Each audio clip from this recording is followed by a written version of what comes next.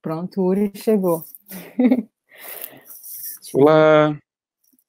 Boa, Boa noite. noite, já estamos no ar? Já estamos. Já estamos no ar. Boa noite, Juliana. Shavuot Haksamer. E é uma grande alegria poder compartilhar com você esse espaço no Tikkun Shavuot, dessas tantas comunidades judaicas eh, reformistas do Brasil inteiro. A Juliana de Albuquerque é colunista do jornal Folha de São Paulo, doutoranda em Filosofia e Literatura Alemã pela University College Cork, na Islândia, na Irlanda, perdoem, na Irlanda. Eu não consegui nem entender a minha própria letra aqui. Na Irlanda. E ela também é mestre em filosofia pela Universidade de Tel Aviv. Aqui nós somos colegas, eu sou mestre em filosofia aqui na PUC de Campinas. Hum. Ela também é Haverá do grupo Beyahad, de jovens adultos da Betel, um grupo de jovens entre 18 e 35 anos, muito, muito especial, que está começando justamente nesse ano de 2020. Juliana, boa noite. Boa noite. Direto da Irlanda. Você vai falar, então, hoje sobre Livros.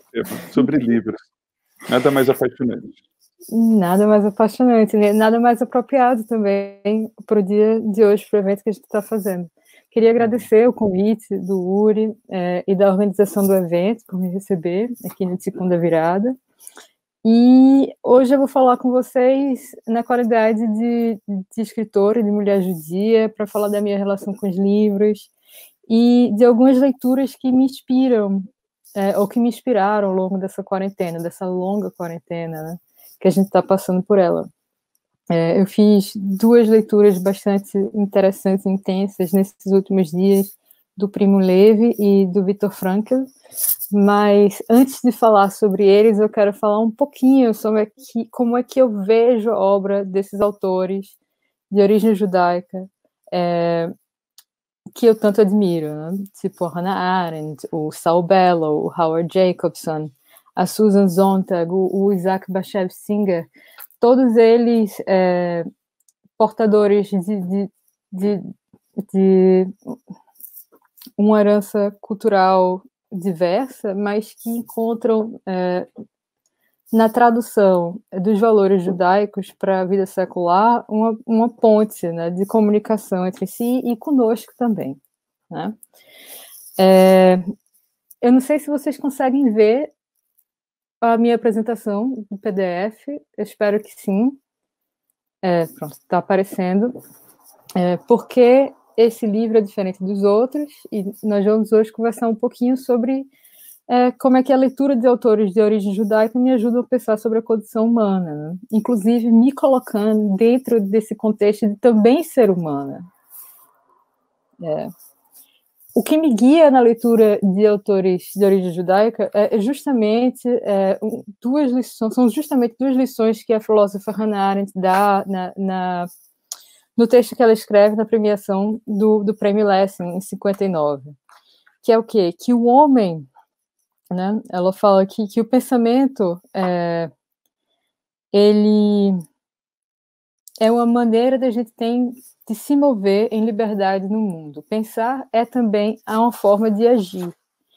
E uma coisa que me chama a atenção nesses autores que eu vou falar com você, sobre eles com vocês hoje é justamente a maneira como eles encaram o pensamento. Eles encaram o pensamento como uma conversação, como uma espécie de diálogo antecipado com o outro. Quando você abre um livro da Hannah Arendt, quando você abre um livro do Primo Levi, quando você abre um livro do Viktor Frankl ou de tantos outros autores judeus, é, você percebe que é, o que há ali é uma abertura para polêmica, para discussão e para se perceber aquele texto de várias maneiras diferentes. Né? Mais ou menos como a gente monta a nossa própria relação também com a Torá, interpretando ela, né, à medida em que a gente vai aprendendo a lidar com aquelas é, normas e histórias. Então, é, essas duas citações aqui, o que eu gostaria que vocês mantivessem é, em mente é justamente a, a questão do pensamento enquanto ação, do pensamento nesse momento que nós estamos vivendo, de, vamos dizer assim, clausura, de isolamento, e qual é o papel que ele cumpre? Ele cumpre um papel muito importante que é de nos permitir é, manter-se em movimento no mundo. Né? Tipo, a liberdade, de, a liberdade de movimento e a liberdade de pensar, vou dizer a Hannah Arendt, são irmãs. E nesse ponto, é, é, eu acho que ela também é verdade, eu acho que a gente pode explorar isso depois. Então, eu quero que vocês também mantenham a ideia de fermenta cognitiones em mente. O que, que é? Vamos traduzir isso para uma ideia de drops é, de pensamento, drops de questionamento, né? É, e é essa coisa, esse convite é, do fermento para se pensar que é, é, exatamente assim que eu encaro a literatura é, feita no século XX por autores de origem judia. E outra coisa que eu acho interessante é a questão do diálogo com a tradição. Né? Essa tradição que conversando com o Uri hoje mais cedo a gente estava falando que é esse diálogo entre é, a tradição religiosa e essa tradução da, da tradição religiosa em uma tra nova tradição secular. E o Isaac Bashevis Singer, ele diz uma coisa muito importante e que para mim é algo é evidência na, na escrita desses autores que eu vou comentar com vocês, que é todo autor precisa ter é, suas raízes, né? Mas nenhum autor vai chegar e vai dizer que ele quer continuar uma tradição, porque a tarefa de continuar uma tradição é também uma tarefa, é, vamos dizer assim, de questionar aquela tradição e de perceber como essa tradição pode permanecer viva no contexto atual da, daquela vida, daquela vida que escreve.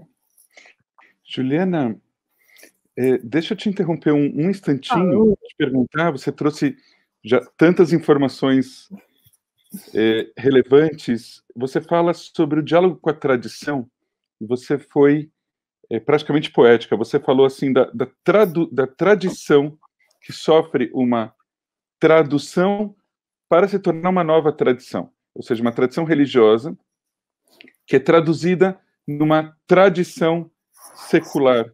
Isso Sim. realizado por autores como Hannah Arendt, como Isaac Bashevis Singer, e que todo todo autor precisa ter suas raízes. Isso, você acredita que a mensagem passada pela Hannah Arendt, a, a, o texto de luta da Hannah Arendt, o, o texto forte do Isaac Bashevis Singer, tão particular e tão universal, é, se esses textos, se eles têm consciência da sua, das suas raízes judaicas, se isso subia como uma seiva, vamos dizer assim, para para suas canetas, para o seu texto, ou se não, se isso flui de modo inconsciente? Eu acho que tem os dois movimentos, sabe, Yuri? Assim, acompanhando um pouco do que eu conheço, assim, da questão da, biogra da biografia da Hannah Arendt, por exemplo, a gente vê que é, é um, o judaísmo é um fator, né, tipo que que está no inconsciente dela, porque afinal de contas foram os valores com os quais ela foi, ela foi criada, educada, mas também ela meio que se engaja é, de modo é, consciente com o judaísmo a partir daquela situação de risco de perseguição que se vai viver com é, com a questão do, do Holocausto. Né? Então, ela, ela inclusive problematiza isso numa biografia que ela escreve é, de uma personalidade do século XVIII, começo, final do século XVIII, começo do século XIX, que é Arahel Farnhagen, que inclusive foi, foi uma, uh, mulher de salão, foi amiga do Goethe, e ela vai falar sobre, a Hannah Arendt vai contar a história da Rahel como essa relação meio que tortuosa com a própria identidade judaica, né? um pouco também falando da própria Hannah. E o Isaac Bashevis Singer, eu acho que também tem isso, né? A questão do inconsciente, daquilo que ele escreve, como ele diz, sobre aquilo que ele conhece. E o que ele conhece é aquela vivência que ele teve né? durante toda a vida. É, na Polônia e tipo e, depois eu acho que também tem um processo de luto não sou especialista na obra dele, mas você sente, assim, ele querer meio que é, dar vida àquela memória que, que, que está com ele, mas que não existe mais em lugar nenhum, né? Como ele fala é, no discurso do Nobel, quando ele vai falar sobre por que escrever sobre Yiddish, não existe língua melhor para escrever sobre fantasmas do que o Yiddish, né? É, então... você, é, é, você de alguma maneira responde a pergunta do Fabiano de Oliveira Machado, quando ele pergunta se é possível ver algum traço nas escritas desses autores com a realidade vivida por eles. Ah, sim. Eu acho que a gente já e respondeu. Né? Já respondemos. E, e, e, também agora em diálogo com a palestra anterior, com o Rabino Gershon, a Anitta Efraim e a Fortuna, sobre o Yiddish e seus fantasmas, o quanto isso sim. dialoga com a nossa realidade atual, quando o podcast do IB, num tema sobre Yiddish, tem uma audiência inimaginável e, e, e mostra o quanto o Yiddish ainda é, fala alto a, a, alma das pessoas e ainda provoca curiosidade também. Inclusive, fala muito alto a alma das pessoas é, que vem de uma outra origem, né, de dentro do judaísmo. Né? No caso, assim, para mim seria muito mais provável, é, e eu curto muito música em ladino, eu escuto fortuna, horrores aqui em casa, mas para mim o Yiddish tem uma coisa especial. Também eu acho que é essa questão da tradução, né, da secularização do judaísmo dentro do século XX, né? Quem são as personalidades que meio que ficaram assim ligadas na nossa cabeça? É, é o, é o Singer, é o Woody Allen, é o Saul Bellow, e todos eles meio que têm uma, uma, um, uma relação especial com o Yiddish, né? Tipo, e com o Yiddishkeit, né? Isso é bonito. Né? bonito, né? O, o, o Yiddishkeit, ele de alguma maneira ele vaza, né? Ele, ele, ele sai do meio acho que nazi e ele preenche a alma judaica como um todo. Não é possível dissociar o Yiddish da alma judaica como um todo. Exatamente. É o que eu penso também. Às vezes eu fico pensando sobre isso, mas eu acho que é bem isso, Yuri. Fantástico. Então é isso. Todo autor ele deve segundo o Bashevis, né, ter as suas próprias raízes e até mesmo inventar as suas raízes, né, segundo ele, para poder escrever a partir da própria experiência. Então, você escreve a partir da sua própria experiência e é aquele conhecimento, é aquela, é aquela, é, né, aquela ligação visceral que você tem com aquele que você está vivendo que vai fazer com que aquela sua mensagem se universalize. Então, é, é nisso que eu vejo é, autores como Primo Levi e como o, é, o, o Viktor Frankl dando uma mensagem que, na verdade, é uma mensagem universal, que serve tanto para judeus como para não-judeus. Né? E quando a quarentena começou, eu vou agora descontrair, né, porque senão não vai ficar muito aula. Quando a quarentena começou, o primeiro livro que eu peguei para ler eu terminei de ler é, o, o Léxico Familiar, da Natalia Ginsburg, e imediatamente depois eu peguei É Isto um Homem, do Primo Levi. E fiquei impressionada com a prosa do Levi, achei é, excepcional, seca, objetiva e, e, ao mesmo tempo, bastante carregada de emoção. E é, uma das frases que me marcou no livro foi exatamente essa que vocês podem ver no, na apresentação. Nenhuma experiência humana é vazia de conteúdo. Eu acho que é isso. Então, quando a gente fala no Primo Levi, no contexto que a gente está vivendo agora de pandemia e como ele pode nos ajudar, a gente não está se remetendo exatamente à experiência é, que ele nos narra é, sobre as vivências dele no campo de concentração. A gente está remetendo a mensagem que ele nos passa, que é uma mensagem que a gente deve estar sempre em alerta, é, para que é,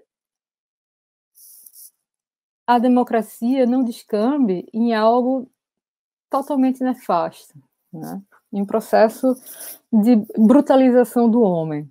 Né? E outra coisa, eu não vou, não vou é, narrar essas, essas citações do Primo Levi, por causa que nosso tempo é limitado, mas está na tela e vocês podem ver. Então, são citações que eu acho chave para a gente pensar o momento político da gente atual dentro desse contexto de pandemia. E é,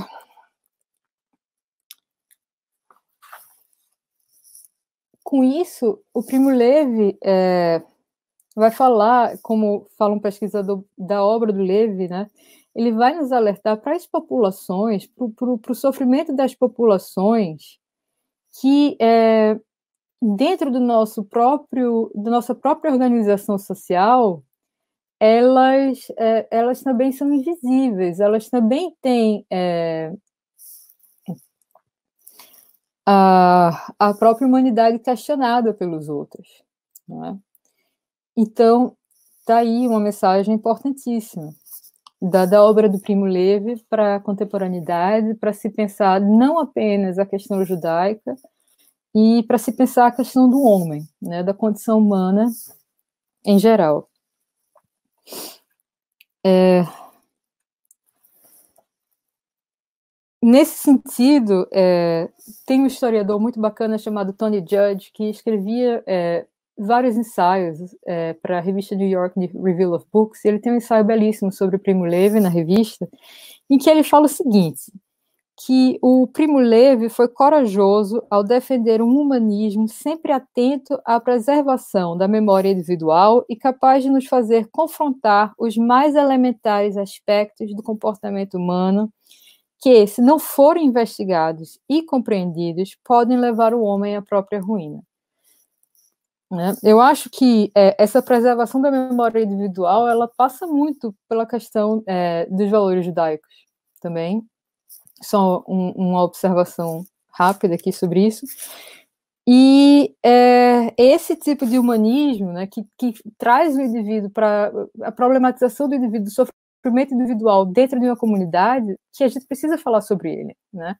Não um humanismo que tenda a, a, a excluir o indivíduo, o pensamento sobre o indivíduo, mas um humanismo que abarque tanto a comunidade como o indivíduo pertencentes daquela comunidade. Uma comunidade sadia, ela só pode ser sadia é, a partir do respeito que, se, que ela possui pelo indivíduo.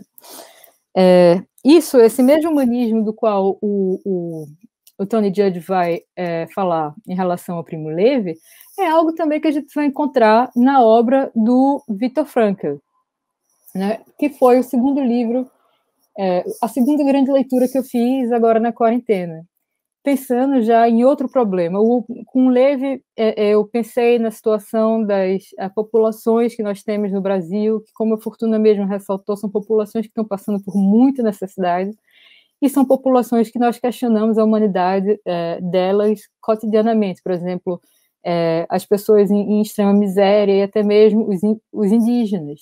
Né? A gente vê os velhinhos. Minha amiga Luísa Paito escreveu sobre os velhinhos agora na questão do coronavírus, um texto muito interessante. É, e o Frankel, ele não vai, é, pelo que eu percebi na leitura do livro dele, ele não está tão ligado ao discurso político, à discussão política, mas ele está ligado a uma discussão que é afim e muito importante para quando a gente pensa em política, que é a discussão sobre a psicologia humana a questão de como nós lidamos com o conhecimento da nossa vida emocional. Né? O Frank ele vai falar da é, quando ele escreve sobre a experiência dele no campo de concentração, sobre é,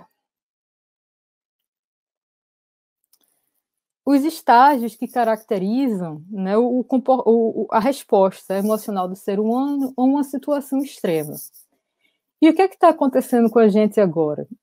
tudo bem, a situação nossa não é extrema, pelo menos nós que estamos aqui acompanhando com a nossa, a nossa situação não é extrema ao ponto da gente se colocar é, nos sapatos do Franca.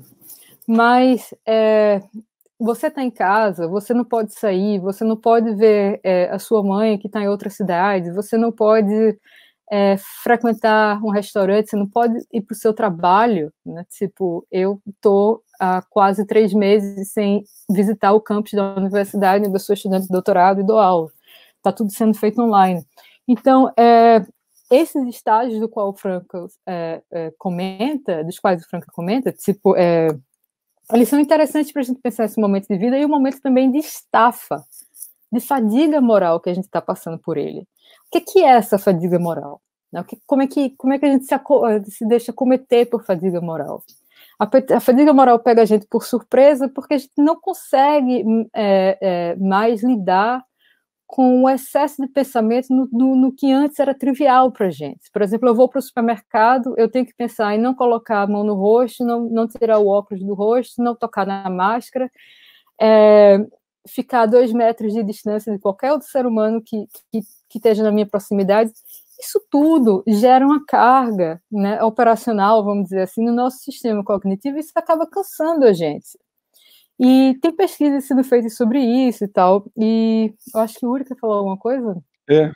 Não, eu ia te, é, é, te, te, comentar justamente sobre isso, inclusive sobre a questão da exposição excessiva às telas dos celulares, ah, dos total. notebooks e tudo isso que causa um cansaço enorme. Nós chegamos no final do dia muito cansados. A questão. Às vezes eu escuto de algumas pessoas: ah, mas você está em casa, você pode trabalhar, você pode trabalhar. E, e, e estar em casa significa a, a, ansiedade em relação ao estresse de voltar para o seu espaço de trabalho, de ver pessoas, de ter um pouco de sol, de você trabalhar e ter que administrar a criança que bate na porta. É, hoje eu estava fazendo serviço de Shabat pela manhã e, e, a minha filha, que tem três anos de idade, começou a bater insistentemente na porta. Olha e eu não sabia o que fazer, porque eu estava no meio de uma oração. E aí, e, e, essas coisas deixam, fazem com que a gente não relaxe. A gente não tem tempos de relaxar, né? É, eu ia te comentar isso e eu queria aproveitar e te falar. Você falou do Primo Levi sobre humanismo confrontar a preservação da memória individual. E você falou do Viktor Frankl, falando da psicologia humana, falando também de memória e do tempo presente, de como lidar com a realidade no tempo presente. É, a ligação que a gente pode fazer isso com o judaísmo no sentido mais é, religioso, da importância da preservação da individualidade e, ao mesmo tempo, a necessidade do indivíduo desta coletividade. Né? Eu vou trazer duas situações, Juliana. É, práticas da, da nossa comunidade. Hoje nós tivemos um serviço totalmente voltado à memória, o serviço de ISCOR, em memória dos falecidos, do povo judeu, dos mais próximos, daqueles, eu levantei aqueles que morreram é, durante a Shoah, durante o Holocausto, daqueles que morreram no período da Inquisição, assim como a alma, assim como o Yiddishkeit fala alto a toda a alma judia, eu entendo que o ladino e o espírito Sim. sefaradi também fala alto a toda a alma judia, da mesma maneira. E, e o que eu ia te trazer era assim, por um lado, é, durante o serviço que era coletivo, o fato, as pessoas começaram a enviar pelo, pelo chat do, do YouTube os nomes dos seus entes queridos já falecidos. E nós tivemos, a gente acho que teve 30, 40, 50 nomes. E foi, foi bem bonito isso. Foi tão emocionante, porque ao mesmo tempo que nós nos identificávamos com a dor de, de cada um, cada um sabia das saudades e da dor que sentia em relação ao seu ente querido em particular, a questão do indivíduo Sim. e a importância de compartilhar isso com a comunidade. E eu também coloco isso para você, Juliana, que mora na Irlanda, e que hoje faz parte do Betel de alguma maneira, através dos nossos serviços religiosos online, através do nosso grupo de jovens. Então, assim, como a gente pode fazer essa ponte desse momento que nós estamos passando? Como você diz, talvez nós façamos parte aí de um, de um grupo que sente a pandemia, mas não com o, o, o, rigor e nem com a tragédia que algumas pessoas estão sentindo, que a grande Sim. maioria está sentindo, é, e que passando por essa situação, mas o que, que o Victor Frankl e o Primo Levi têm a contribuir por o momento que nós estamos passando? Por que, que você lê justamente Victor Frankl e Primo Levi em 2021, em 2020, eu já estou em 21, pensando quando a gente termina essa história, em 2020, é, na Irlanda, uma moça judia, nesse período de pandemia. Então, a cidade onde eu moro, na Irlanda, ela não tem exatamente uma comunidade judaica estabelecida. A sinagoga que existia aqui, ela, se não me engano, encerrou é, as operações um ano antes de eu me mudar para cá, em 2015. Quando eu cheguei aqui, é, o que existia era apenas um grupo de, de outros imigrantes de outras partes aqui das ilhas britânicas, vamos dizer assim, que se encontravam para fazer um ceder de peça, ou durante Yom Kippur, Rosh Hashanah, e, e às vezes chamavam um convidado ou outro. Então não existia uma comunidade com a qual, ou não existe ainda uma comunidade com a qual eu pudesse dialogar, com, com a qual eu pudesse viver minhas tradições. Então, é, desde que eu cheguei aqui, eu tenho me sentido bastante solitária nesse sentido. E foi um ponto que me trouxe até a Beitel, no caso, porque eu falei com isso com as amigas que a gente tem em comum, Uri, e elas disseram, olha, Beitel está fazendo os serviços é, de, de Shabbat, Shaharit, é, de Shabbat, online. E aí eu fui, porque é, era a questão do diálogo, o diálogo com alguém que me fosse semelhante, que estava faltando na minha vida e que, para mim, aqui, tanto no isolamento da quarentena como no isolamento cultural, de ser uma moça judia num país tradicionalmente católico, é, eu vi nesses autores uma maneira de, de encontrar um diálogo, de encontrar uma voz amiga, de encontrar com quem eu pudesse discutir e também com quem eu pudesse viver os meus próprios valores, né? Então foi assim que eu cheguei no Primo Levi e no Victor Frankl agora, na quarentena. É nesse exercício mesmo de manter, vamos dizer assim, a chama do judaísmo acesa no meu cotidiano, né? E pensar dentro de um contexto judaico, vamos dizer assim. Não sei se responde. Uri? Eu acho que o Uri caiu, será? Bom, é bem isso. Então, e uma coisa que eu achei interessante também que o Uri levantou, olha aí, voltou. Uma coisa que eu achei interessante que o Uri levantou foi é, a questão da relação comunidade-indivíduo, que foi uma coisa que a gente também levantou no serviço de, da tua discussão do serviço Shaharit na, na semana passada também, Uri. É, acho que até o Dr. Mauro falou sobre isso, num né, comentário na Torá. E isso, a, a questão é, do humanismo que zele pela memória do, do, do indivíduo, precisa fechar? Vai fechar e abrir novamente? Como faz? Não, não, não. Só, ah, só para tá. te falar, só para a gente fechar o nosso tema, que nós estouramos o nosso horário. Eita, então tá. Então, então é isso. É, a questão é a seguinte: a Pirkei Avod, né? É, seja homem ou não tiver humanas e sempre faça parte de uma comunidade, né? Então eu acho que essas são as duas lições que esses dois autores nos oferecem nesse momento. Tá bom, Juliana, muito, muito obrigado. Muito a gente não viu o tempo passar e, e a gente fica muito, muito feliz ah. com, em, em sermos parte desse Tecun com outras tantas comunidades. E nós vamos abrir agora espaço para o próximo, é, para o próxima, para o próximo encontro, que agora não tem a informação. Se o pessoal da produção puder me ajudar aqui. Nós vamos seguir então. Eu vou me despedir de vocês para vocês seguirem com a próxima, com a próxima palestra, tá bom? Gente, uma boa noite e Hag Sameach e a gente tem ainda uma longa noite nessa nossa travessia de Shavuot. Próxima atividade, opa, keynote speaker com o moderador Daniel Weiss, o querido rabino Sergio Bergman, presidente mundial da World Union for Progressive Judaism. Uma honra passar a bola para esses dois queridos, Daniel e Rabino Sergio. Até mais.